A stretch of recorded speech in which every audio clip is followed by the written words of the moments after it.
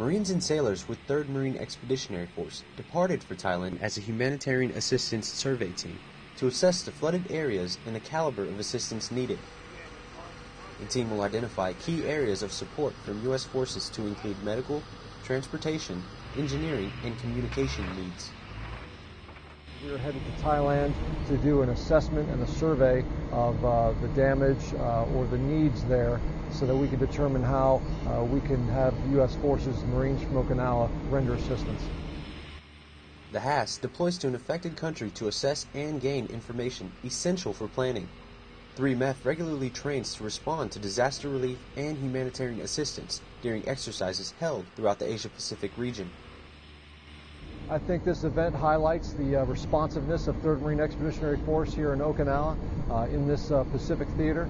It was uh, less than 12 hours ago that we got the word that uh, we wanted a HAST there in Thailand.